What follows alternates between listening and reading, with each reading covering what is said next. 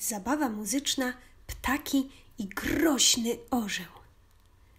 Podczas tej zabawy będziemy zamieniać się w różne ptaki. Ta piękna melodia to symbol słowika. Fruncie powoli z szeroko rozłożonymi skrzydłami.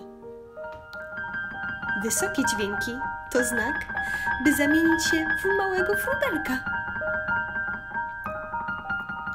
Gdy usłyszycie taką melodię, należy zamienić wasze ręce w kraczące dzioby głośnych wron.